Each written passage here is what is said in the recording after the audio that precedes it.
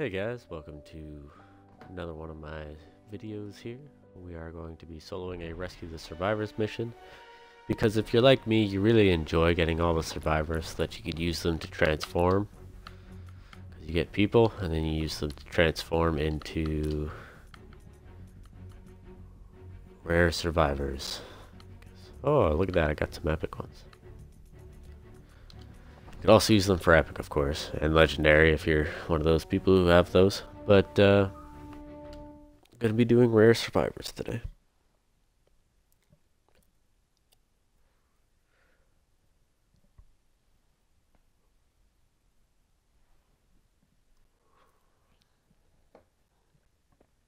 Um, and if you are like me, you'll notice that whenever you play with randoms, they just don't care about uh, about getting all the survivors. It's very foolish of them because getting all the survivors will ensure you get a level 4 chest as opposed to level 3 chest, then you'll get 30% more experience across the board. Commander XP, schematic XP, XP in general, you're getting more of. You also get more people. So there's really no reason not to save all the survivors. There's more than enough time. There's, you know, four people per match. If you just save whatever survivor you come across, you see the antennas. Doesn't really Stand matter. by for an important weather alert. So we- we see we're fortunate enough to get one right off the bat. I think that's the storm chest behind me even. Thank you. I was getting worried. I know Just it's left, the uh, medkit will be over by the storm chest. But uh, there's no luck in this game, so uh, Check your map for the location of the medkit.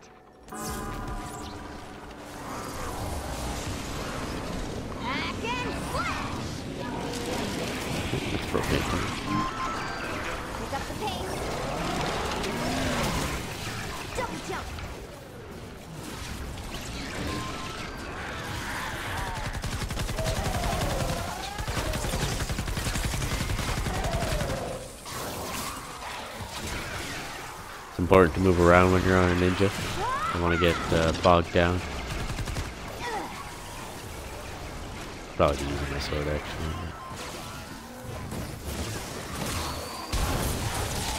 Run away!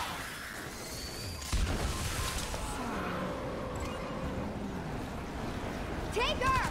Oh, two takers. That's no bueno.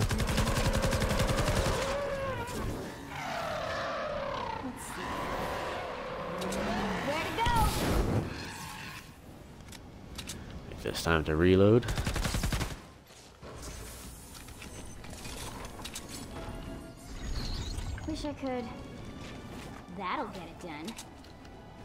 Good goodies. We're gonna go around this way, the opposite way of the med kit, because really. that way when I come back around, they'll still be there.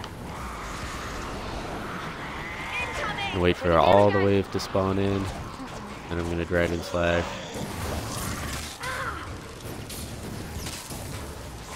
I mean, if you wanted to do a noob run of this, you could craft a uh, rocket launcher here. But basic premise is you want the ninja to use your multiplier for movement speed. Um, and then you want, oh, this could be nice to use Dragon.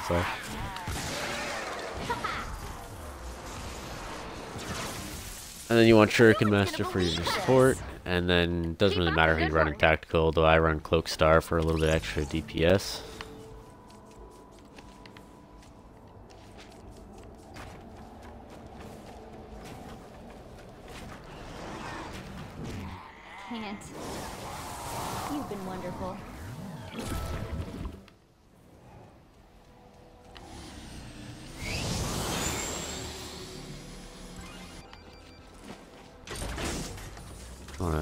Some siphons if you can, get some BluGlo because there will be two BluGlo si- survivors around.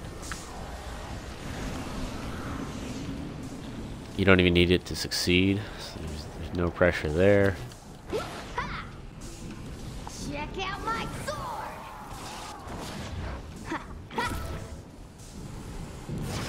Stars out! Really want to try to not get slowed down. Obviously, there's slowing pools on this one, so we can't make much of a difference. But uh, as far as water enemies go, you don't want to. You don't want to be slower than you can.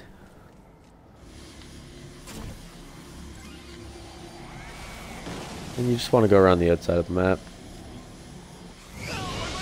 Survivor in danger. Monsters coming! Look out. Fort's under attack. Play and play. I think I know that. If you're really under leveled for these missions, let's say you're an 82 and 100 zone, um, using a rocket launcher for these survivors is absolutely uh, recommended. That's how I got through most of mine. All you want to do is just, They've got me surrounded. anytime they come close to it, just blast them back. And I mean, if, if you're an 82 in the 100 zone, um, you probably have enough obsidian, whether it be from your expeditions, what have you. You can just blast them back every time. It's not, Please help! it's not an issue. Oh, man. No one's gonna... Saving lives. See you soon. Ha! Ha ha! Ooh, freaking get me. Normally I'd stop and do it, but rescue the survivors, sometimes you don't really have time. Because I got the storm chest already, I don't really have time.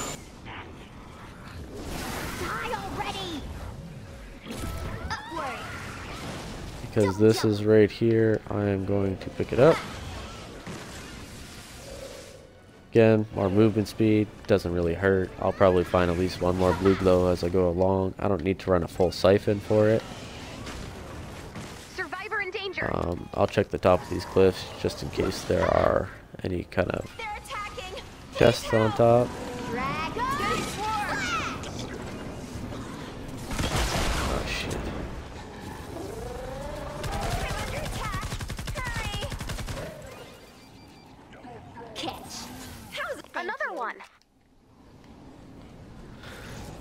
Density of survivors on this one hasn't really been significant.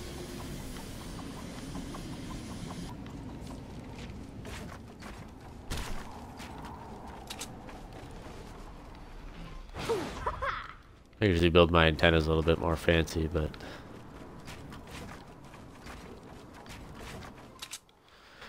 whatever works, guys. Whatever works. You see the other antenna off in the distance there. Keep an eye out for those because they're easily missed. Serious? I know it's pretty Right surprising, side. but I'm also gonna here. dive down into this cave.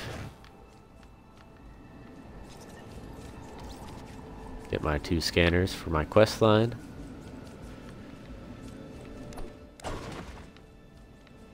I'm not complaining about the legendary survivor they're giving us. I'm not complaining about the mythic constructor they're giving us, but um, I might very well complain about the fact that we have to do so many missions to get them all. Especially people who are already entwined. Would have been nice if they just kind of gave it to us. But who likes free things? I mean, it's not like we played their game for them. Sent hundreds, if not thousands, of bug reports to make sure that their game is good. Oh, you guys are gonna get to see the tomato. thing in it. This is something I found the other day. Yeah, you know, those pesky Oh, that's a level 5 rocks. safe. You Or level 4, me. sorry. That looks like a husk. There are different kinds of safes as well. What? We need to find more glyphs. Ta-da! You guys might recognize like this from. Battle Royale, Really? but Just uh, looks like an angry lump to me. Close enough. First husks, now smashers. Let's keep searching. obviously it has a bunch of health. There's a lot of gnomes around, and these gnomes can give power cells, but I haven't really gotten too many of them from it. Yeah, it's very low chance. I don't know why they're so much lower than the actual gnomes themselves, but they are. Moving on here. Making our way uptown, walking fast. Thanks to that 10% movement speed pylon. I always see these lamps and think they're chest glows, so it kind of throws me off and stop, but they most certainly are not.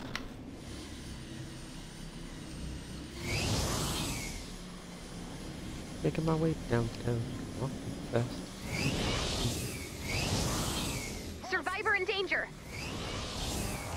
Running at. Survivor in danger. Ah, I get it. Hey. Good save. Thanks again for your help. See you soon. Double jump. Here they come. Our fort's in danger. Oh, with smoke screen on, you want a melee weapon or a rocket launcher. It doesn't matter. If you really wanted to, you could wipe out the second wave here, put a turret down, and then just kind of walk away.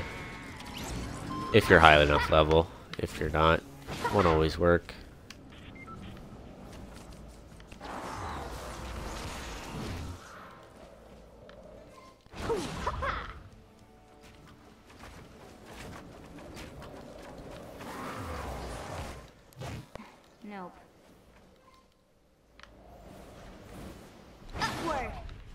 Anything to cut down on time, right? life. Get out of here.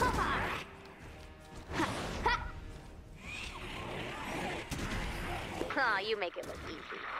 Can't believe it. You're the best. Oh, I still need to pick up a piece of BluGlo. Oh, there. There seems to be a lot of RV survivors on this one. I don't know why. Well, I mean- Enemies incoming. Watch out. Uh, just general survivors that are on cars, I should say. I consider these ones difficult because they take they take a minute just for all the enemies to spawn in, of thing.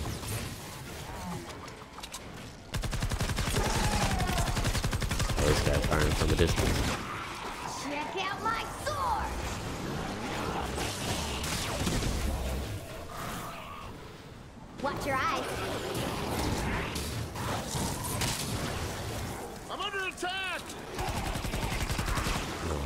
Firing at me the entire time.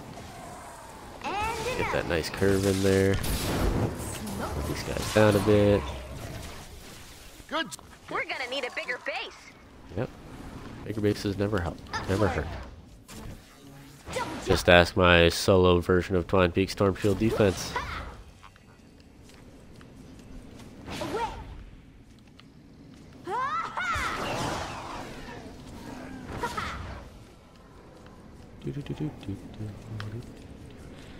This in the secret cave? Oh, it's higher. She blows. Ah, finally found a medkit survivor.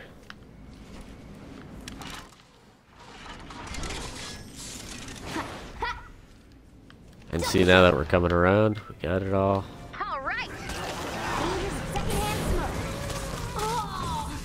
So let's take her back into the electric field. Yeah, I probably should use my adrenaline rush there, but I wanted to save it because you, if you use your adrenaline rush on survivors, it heals them. Apparently, that wasn't a well-known thing, but uh, the it's a thing you could do. If you have adrenaline rush, you use it. Has that area of effect heal? Heals the survivors. More humans, fewer corpses. Win-win. See, now that we got the outside done, we could start moving in in, in kind of like a square version, and uh, it won't take as nearly Over as here. long.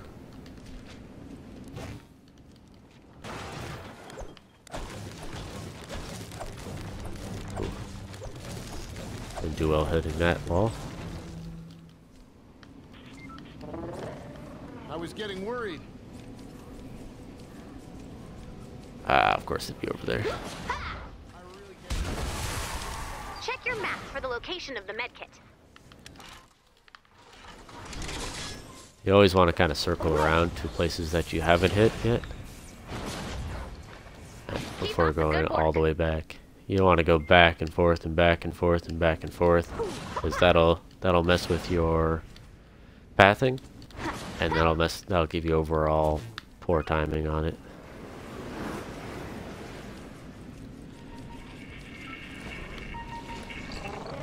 Yeah, I know the shadows right there. I don't think I'll be able to kill these guys before they kill me, but I'll give it a shot.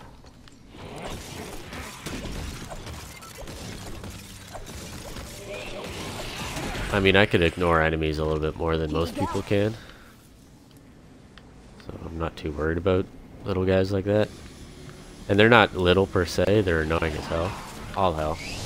To, uh, to deal with them, but they're manageable in a sense. Goodness. The cactus, guys, the cactus. Five minutes left. Spinning deck. As you'll notice, I use the cloak star on mine. Aw, you make it look easy. Please die. Thank you. Um, yep. So now that we've gone to the left a little bit more, we can go down to the bottom now. Grab the birthday cakes. Another car survivor? You see what I mean, guys? This is horrendous.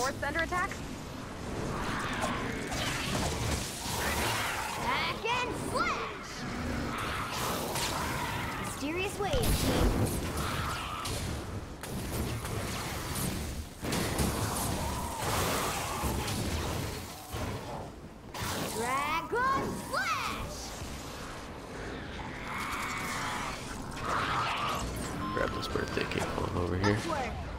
You really want to explore all brown spots on the map, dark spots on the map, whatever you want to call them.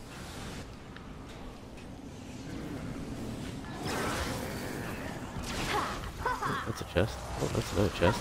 That's a mimic, actually. Oh, that's a fake mimic, because for some reason Epic likes to put mimics by the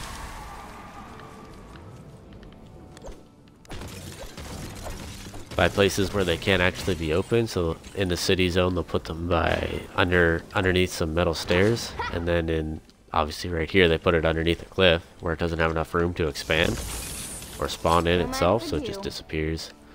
It's kind of unfortunate, but it is what it is. Uh, normally, I would search that cave that it was on top of, but because we're a little bit strapped for time, and God forbid I get another car survivor. Still got another two survivors to save. Unless, of course, there isn't another survivor. Sometimes they only put 14 in there. Get the bonus 8 instead of the bonus 9. Run away. Some extra fire zombie kills. And you really want to be careful of your pathing here. You want to get all the way around so that you're covering what you didn't cover when you were going outside of the map. You want a little bit of overlap. You saved my life. Please help. I need help.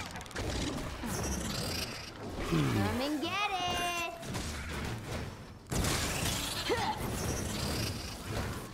Oh, jeez. Don't ask me to swing a sword, guys.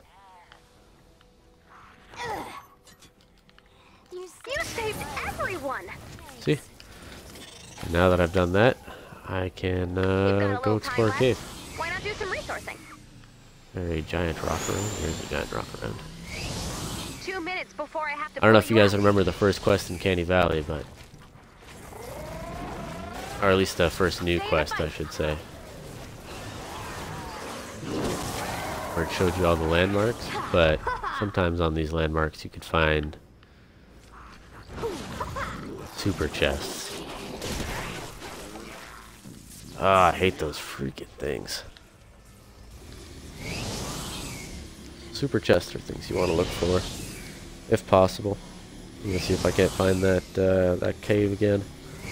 Pretty bad with landmarks sometimes.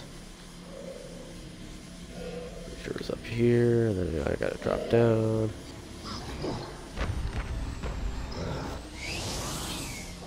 Yeah, he's. I've lost it. Oh, there it is.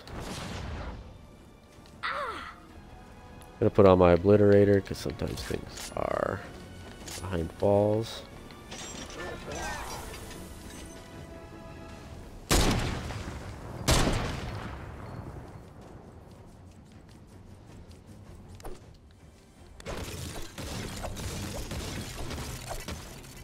Don't really care much about a level 1 chest, even in a 100 zone. Here it comes. But of course I'm at the bottom left. of a well, so it doesn't really matter now. Again, you got the nin- ninja for the nice mobility. nice overall. Got some known for some active power cells.